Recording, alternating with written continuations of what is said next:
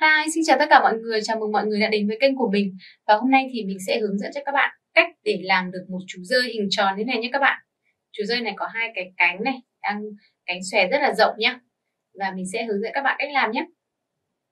Vì chú rơi của mình thì uh, cái phần chủ đạo của nó chỉ có màu đen thôi Nên mình sẽ sử dụng cái màu đen để làm cái phần thân của con rơi này nhé Và mình sẽ sử dụng thêm một chút màu trắng nữa.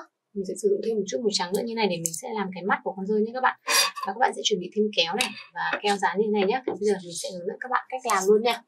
Ở đầu tiên thì so với cái tờ giấy màu đen này với cái tờ giấy màu đen này thì các bạn sẽ cắt cho mình. Các bạn sẽ sử dụng thước đi. Các bạn sẽ uh, sử dụng thêm một cái bút chì này các bạn sẽ uh, đo cho mình. Các bạn sẽ uh, đo cho mình một cái uh, một cái đường thẳng dài một phần rộng 1,5 cm nhé các bạn rộng 1,5 cm nha. Mình sẽ có bốn cái bốn cái đường ờ, bốn uh, cái hình như vậy nhá đây mình sẽ kẻ thẳng xuống đây. Nó sẽ mỗi phần nó sẽ rộng 1,5 cm nha. Và chiều dài này thì của nó là 21 cm các bạn.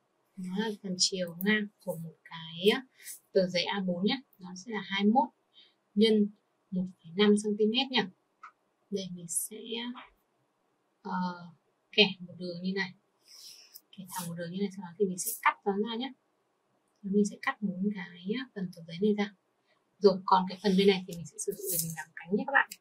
Ok sau khi mình đã đo xong rồi thì mình sẽ cắt nhé. Mình sẽ cắt nó ra như này. Để cho nó nhanh ấy thì mình sẽ gập đôi cái tờ giấy này vào. Bởi vì tí nữa làm nào thì mình cũng phải giấu đánh dấu cái phần ở giữa thì mình gập đôi luôn nhé gập đôi là như này. Đây như các bạn sau đó mình sẽ cắt này. Đây cắt từng cái này ra. Như vậy là mình đã, đã tiết kiệm được một nửa thời gian. À, mình cắt rồi nhé các bạn.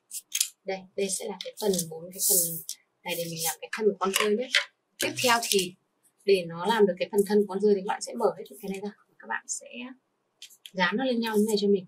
Đây các bạn các bạn sẽ chồng lên nhau như này. Đây đầu tiên là hai cái hình này thì sẽ là hai cái uh, nó sẽ là hai cái hình chữ thập đúng không? Nó sẽ là cái hình hình uh, chữ x này. Rồi tiếp theo cái phần tờ giấy thứ ba này thì mình sẽ uh, xếp nó vào giữa của hai cái tờ giấy này nhá. Đây mình sẽ dán keo vào đây mình sẽ giữ vào như này. Rồi cái tờ giấy cuối cùng thì mình sẽ đặt nó vào theo chiều ngang nhé các bạn. Đây là cái chiều ngang của mình nhá. Đây. Rồi mình à, dán keo vào. Ok sau khi mình đã dán keo xong cái cái phần màu đen này phần thân của nó rồi thì mình sẽ gập những cái uh, những cái đường này lên nhé các bạn để tạo thành cái hình tròn nhé đây mình sẽ sử dụng cái hai cái uh, cái hai cái đầu ở bên này thì nó sẽ là một cái ờ, một cái tờ giấy, đúng không? Thì mình sẽ dán vào nhau nhé đây. Mình sẽ dán vào như này, dán lên nhau như này. Tí nữa thì nó sẽ tạo thành một hình tròn nhé các bạn. Các bạn chỉ cần là dán nó lên lên như này thôi. Tiếp theo là cái phần tờ giấy thứ ba. Tiếp tục dán nó vào. Dán vào đây. Dán nó lên đây rồi, cái phần cuối cùng, cái phần tờ giấy cuối cùng nhá.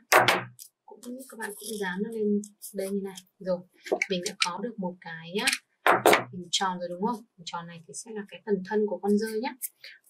Rồi, đây sẽ là cái hình tròn, cái thân của nó nhá. Tiếp theo thì mình sẽ sử dụng cái phần à, màu đen còn lại này nhá. Mình sẽ làm cái cánh của cái con rơi này nhé các bạn. Thì mình sẽ gập đôi nó vào.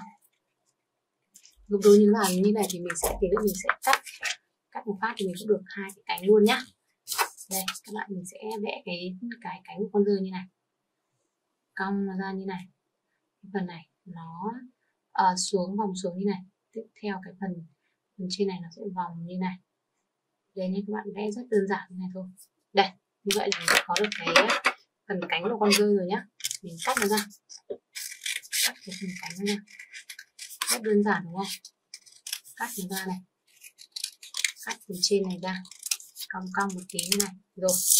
Sau đó mình sẽ mở nó ra. Mở nó ra như này.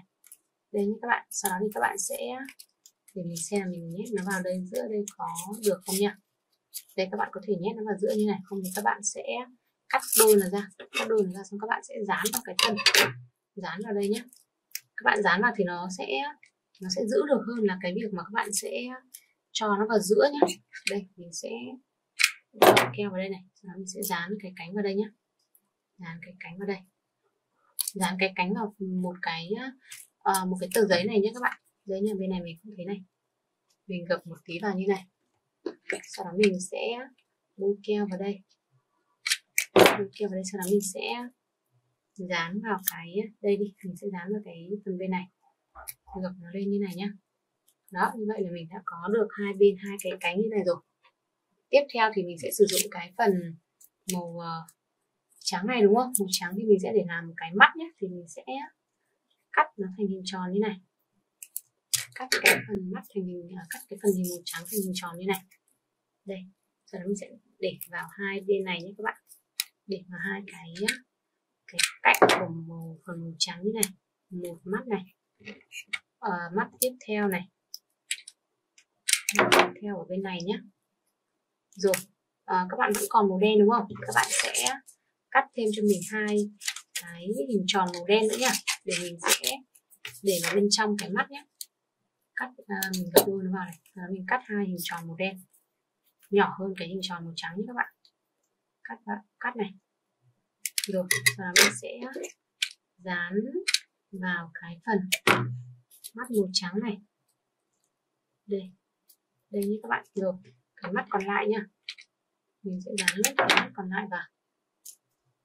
Đây và như vậy mình đã hướng dẫn xong các bạn cách làm một cái chú dơ đen xì xì như này rồi nhá.